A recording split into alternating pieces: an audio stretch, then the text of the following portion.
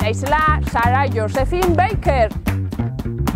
Eta New Yorkekoa, noski, New York statu batuak. Jaio nintzen mila sortzireun eta irurogeta mairugarren urtean, orain dela urte pila bat. Eta emakumea izateaz gain, ba, lesbiana eta medikoa nintzen. Eta hiru gauza hauek, mm, mm, mm, mm, basterketa asko pairatu nituen nire lanean. Bai, bai, bai, esango duzu, gaur egun agian normalagoa da, baina bere momentuan, ma, ma, ma, ezen ondo eramaten. Bueno, eta zer gertatu zitzaidan nire bizitzan? Ba, basterketa horietako bat, adibidez, izan zen, emakumea izateagatik nire lankideek bidali ninduten New Yorkeko auzo pobreetako batera, esan zuten. Ah, bidaliko dugu ara auzo pobre batera, eta astuko da gutaz, eta gu berataz, eta baina, ez ziren nitaz ahaztut. Eta zergatik esango duzue? Begira, ba, joan nintzen auzoaretara eta konturatu nintzen gauza garrantzitsu batetaz. Eta izan zen pobrezia oso lotuta dagoela gaixotasunekin.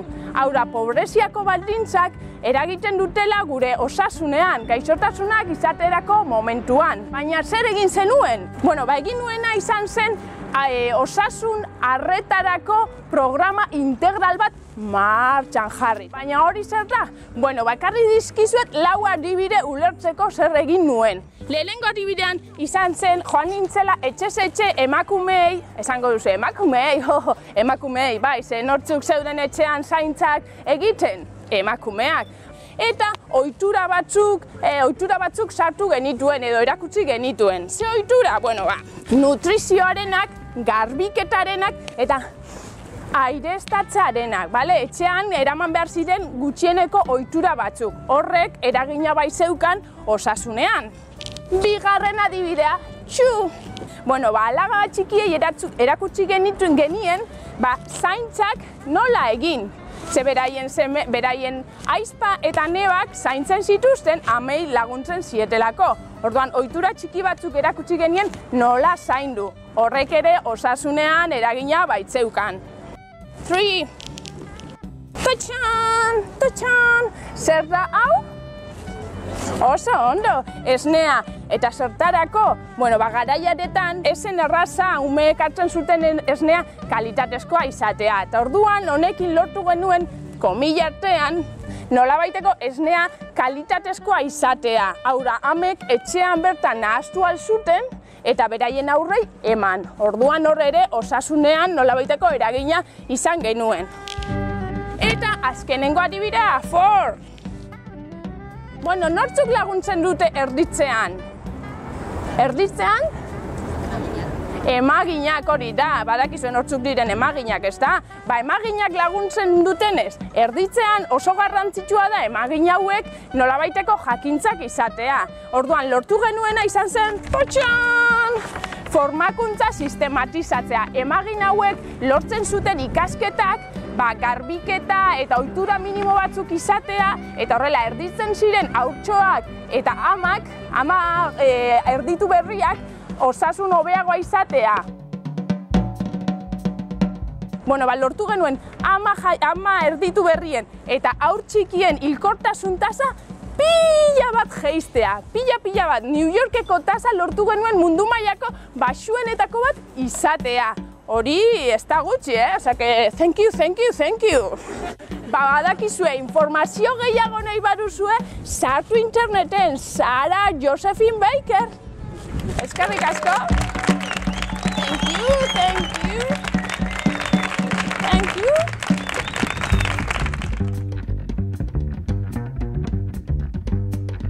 Bonjour, je suis Marie Laurent. Nací en Francia en 1826. Una época un poco difícil para las mujeres científicas porque no podíamos ir a la universidad. Mi interés por la ciencia era evidente y pude desarrollarlo a través de, del trabajo con mi marido. Criaba gusanos de seda para poder estudiar las enfermedades que les afectaban y buscar una, alguna solución. La desgracia se cernió sobre nuestra familia y tres de nuestras hijas fallecieron a una corta edad de tifus. Mi marido y yo trabajamos incansablemente hasta el punto que nos fuimos a vivir al laboratorio. ¿Dónde estamos enterrados los dos? Marie Laugent, Marie Laugent. ¿Os suena de algo? Si os digo igual mi apellido de casada, Marie Pasteur, os suena, ¿verdad? Pues obviamente ya sabemos quién se llevó todas las medallas. Es que tanto los estudiantes como los eh, colaboradores científicos de mi marido estaban convencidos de que sin el apoyo y el trabajo que yo hice junto a él, el éxito que él tuvo no hubiera podido ser realidad. Mientras hacía pan, yo veía que el pan crecía, ¿no? Y hasta ahora se había pensado que eso era fruto de una reacción inorgánica, pero a mí me parecía que ahí había, tenía, tenía que haber algo activo. Pues esto supuso la creación de la microbiología, que dio paso al descubrimiento de vacunas, antibióticos, higiene, esterilización, que como sabemos es de vital importancia de cara a la prevención de muchas enfermedades. Es que esto es un milagro y yo quiero compartir un poquito de este pan y que lo probéis, porque este pan ha vivido el milagro de la fermentación, que tantos beneficios nos ha dado y nos ha ayudado a mejorar la salud. ¿Habéis fijado en las efímeras pompas de jabón? ¿Alguna vez os habéis preguntado cuál es la causa de su formación? ¿A qué se deben sus tonos, colores o la durabilidad? Mi nombre es Agnes Pockels y nací en Venecia en 1862. Con nueve años, una grave enfermedad de mis padres nos obligó a trasladarnos a Alemania. Allí cursé mis estudios en el Instituto Municipal para Niñas y descubrí que mi auténtica pasión era la ciencia. El rol que se asociaba a las mujeres era el de ama de casa. Durante el resto de mi vida me obligaron a llevar un delantal, dedicarme a las tareas del hogar y al cuidado de mis padres y de mi hermano pequeño. Una cocina no se diferencia mucho de un laboratorio. La química y la física se combinan, haciéndose servir de ollas, fogones, embudos, coladores y muchas cosas más. Mi hermano pequeño sí pudo continuar con sus estudios y terminó siendo profesor de física en la universidad. Gracias a esto yo pude acceder a la educación, sin embargo nunca pude tener un lugar propio para investigar. Así que yo, ni corta ni perezosa, hice de mi cocina mi laboratorio y de los quehaceres diarios mi investigación. Y claro, os preguntaréis, ¿y con qué investigaba esta, esta mujer, no? Pues con algo a lo que millones de mujeres se enfrentan todos los días sin placer ninguno, el agua sucia de fregar los platos.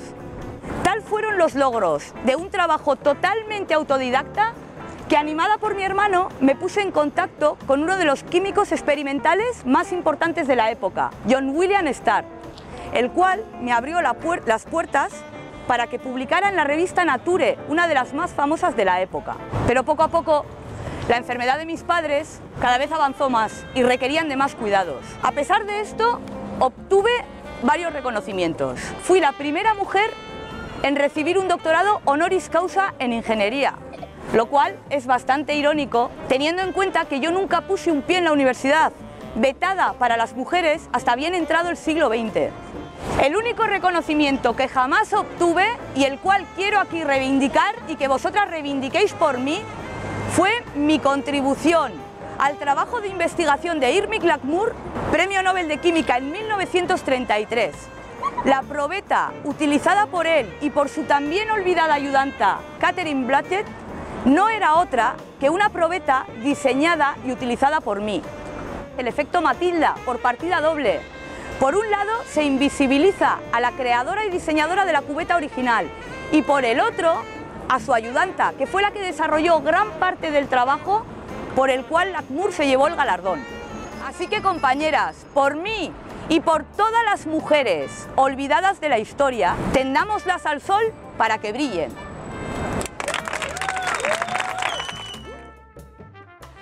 Venga, un poquito más, un poquito más, que ya casi está, empuja, empuja, ya llega, ya llega, empuja, ya.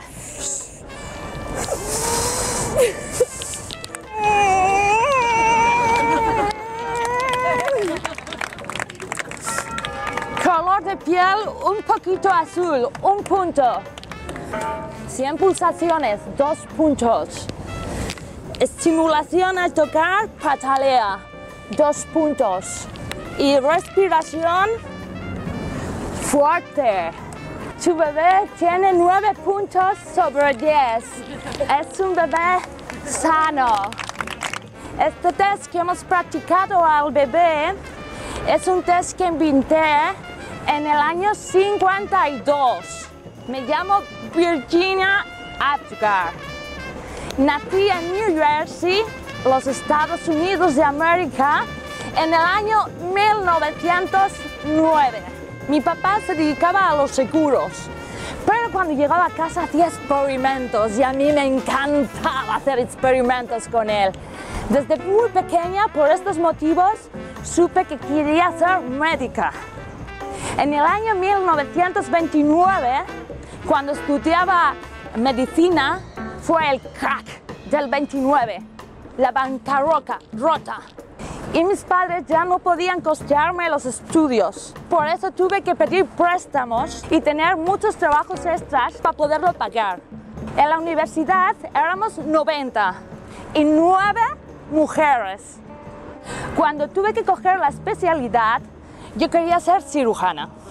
Pero mi profesor me dijo que para una mujer el tema de la cirujana no estaba muy bien y me recomendó que había un campo que se estaba expandiendo que era la anestesiología.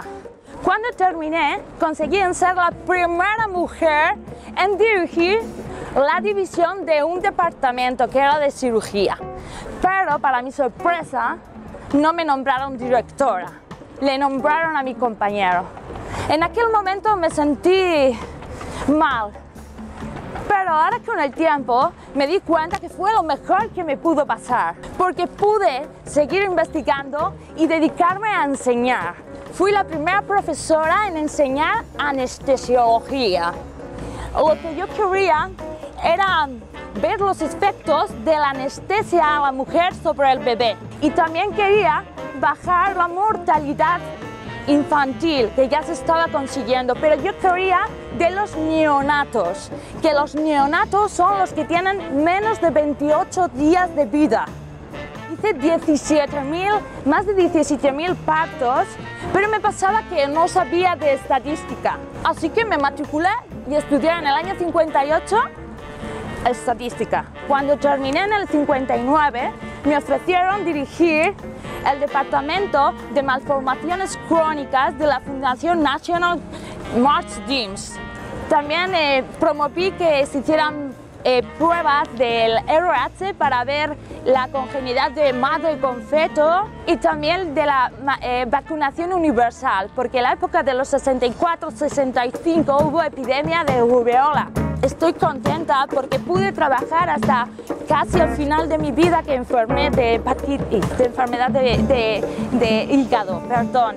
Después me he enterado de que todos los estudios que hacíamos han conseguido mayores avances, que me han sacado en el año 94 un sello con mi cara en el correo de los Estados Unidos. Me encantan los sellos. Y no olviden que siempre que se nace un bebé, se dice que lo ven con los ojos de Virginia Apgar y que nunca en la vida delante de mí un bebé dejará de respirar.